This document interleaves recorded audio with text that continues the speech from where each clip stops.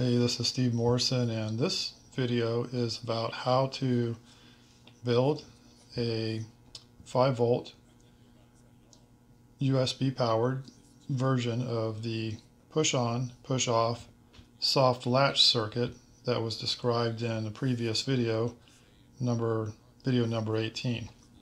Essentially, it is a push button circuit that is the electronic version of a mechanical toggle switch, push button toggle switch.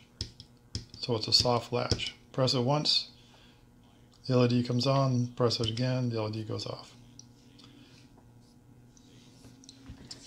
This is the original circuit here. This circuit was, now this 5 volt version here was um, was developed upon request from one of my viewers who wanted to just take the 12 volt version and reduce the voltage down to 5 volts. And they asked if they could do that. I said, well, you can try, but I don't think it's going to work because simply reducing the voltage from 12 volts to 5 volts in that circuit, in the original circuit, would change the characteristics, the overall operational characteristics of the circuit because of these transistors here, these PN junctions here, the reduction, the overall reduction would be nonlinear in voltage. Uh, its effect on the voltages and currents in the circuit because at 5 volts, these PN junctions make up a larger percentage of the total voltage than, the, than would be at uh, 12 volts. So I went through the circuit and decided on which components to change so that it was operationally equivalent to the 12 volt circuit and made it a 5 volt version. I also made some improvements here so that the it, it had a little bit more tolerance to a bouncy switch uh, so that the frequency the frequency response was you know such that if you press a button too quickly, it's not going to work properly, and that kind of simulates a bouncy switch. So you just press it at a normal rate, then it you know works just fine. It's uh, very user friendly.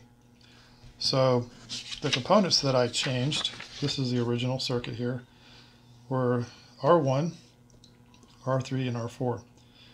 Um, essentially that's the biasing for Q1 and the collector current for Q1 which is also the base current for Q2. And I changed this resistor over here to provide a little bit more tolerance for a bouncy push button switch. So these were these sort these resistor values were changed. So this is the new circuit here.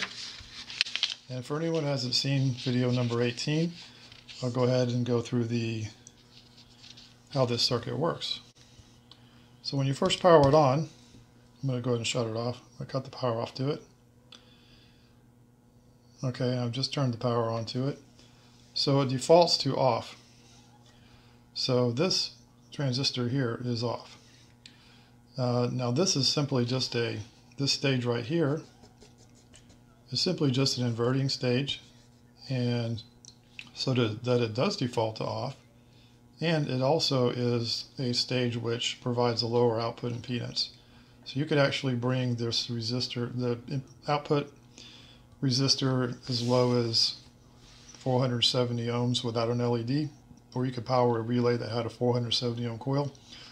Uh, what you'd want to do for this output stage is you want to have about at least a 50 to 1 or less ratio between the base resistor and the collector resistance much higher than that, and then you then you stand the chance of taking this transistor and putting it into its active region, where we want this either to be in cutoff or saturation.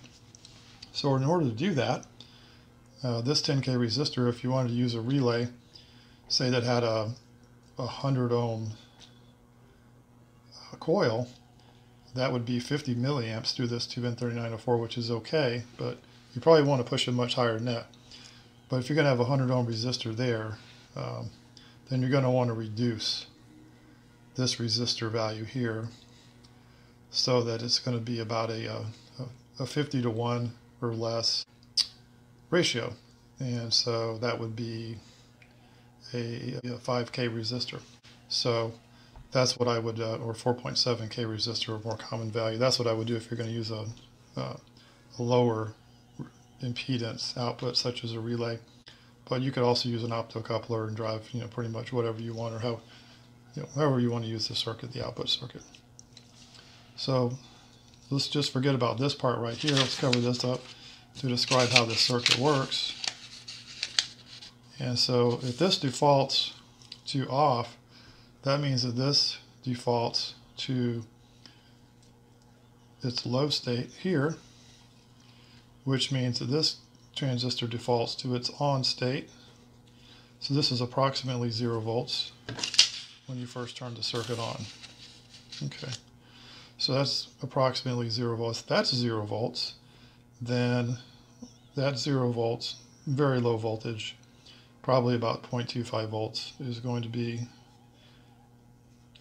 biasing this transistor here at at a, it's going to be pulling this low essentially. And not only that we also have this 470k resistor here to help pull it low. So this transistor is going to be off. If this transistor is off then this voltage right here is going to be the supply voltage 5 volts. So if you have 5 volts here 5 volts is, is going to be charging this capacitor right here based on this time constant. And that time constant is important in terms of, of debouncing the uh, push button. So this capacitor is going to charge up to 5 volts. So that's 5 volts. This transistor is off. This is being held low. So that's the, that's the initial state. You got 5 volts right here. That's the initial state. And when this is on, this is this LED is off. Okay, so that's our initial state. Now, when you go to push the button, what happens is that 5 volts, you since you cannot, um, so this, this resistor here is going to discharge that capacitor. You can't discharge a capacitor instantaneously, so 5 volts is going to try to appear right here. So that's going to turn this transistor on. It's going to bias this transistor so that it's for it's momentarily going to be on. If that transistor is for an instant going to be on, this goes low. And what that does, that pulls this transistor, the base of this transistor low, and turns this transistor off. If this transistor is off, then this voltage goes high. When this button was pressed, this base was pushed high, turned this transistor on, and now this circuit has latched and this is now positive. We have a current flowing through here and through that PN junction and forward biasing it. Now it's keeping that transistor on.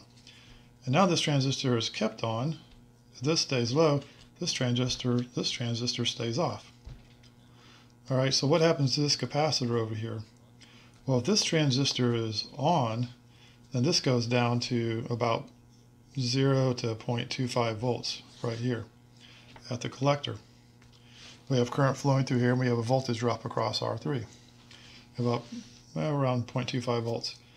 So this capacitor is going to discharge the rest of the way through this and the voltage here is going to be very low, about 0.25 volts at the top of that capacitor. So now we know this circuit is latched so that this is in its off state here. This is on, this is off, and if this is off, then this is on. That LED comes on. That's our that's our on state. Okay, so we push the we have at this point we've pushed the button one time. We've turned it on. Now, if we're going to push it again, that 0.25 volts is going to cause this 0.7 volts to drop down to 0.25 volts just for a moment. But it's just enough to turn this transistor off. Once this transistor turns off, it's off. This voltage goes high again. It turns this transistor on. This transistor is, this transistor is on. It keeps this low because this voltage is low again and it latches this, this circuit is latched again in its new state to where this transistor is off, this one is on, and this one is off, and that LED is off. And then the cycle continues. So that's how that circuit works. There.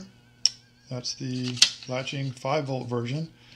And it makes sense that somebody would request this circuit because there's a lot of reasons why someone would want, would want to use a 5 volt version for digital circuits, maybe USB powered, etc. So that's the 5 volt version of the push on push off soft latch circuit.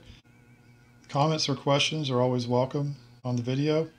And if you like this video, please give it a, a thumbs up. And don't forget to subscribe if you haven't already subscribed to this channel. Thanks for watching. I do actually recommend this power supply right here. This is a great low-cost programmable power supply that has a resolution, a, a set and display resolution of 1 millivolt and down to 1 milliamp. It's a 61 volt supply, maximum 3 amps, and allows you to toggle the output on and off so that when you're working on circuits you can make changes to that circuit with impunity and um, switch it back on when you're when you're done. I hope you found this video helpful and informative. If you did, please like this video and subscribe to this channel. For more information about this project, as well as recommended breadboarding equipment, best practices, and safety tips, please go to breadboardcircuits.com.